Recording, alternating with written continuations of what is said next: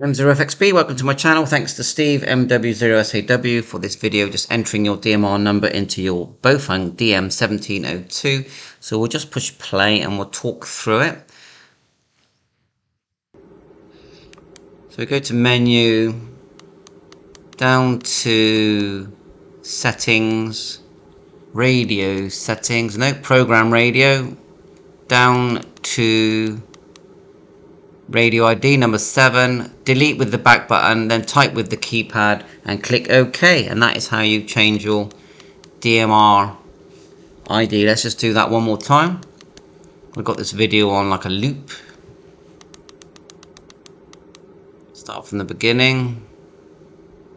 At uh, this, right, okay. Menu, down, settings, down to the bottom which is 3 program radio down to radio ID delete with the back button. Type the number on the keypad. Click OK. Thanks for that. Thanks for watching. 7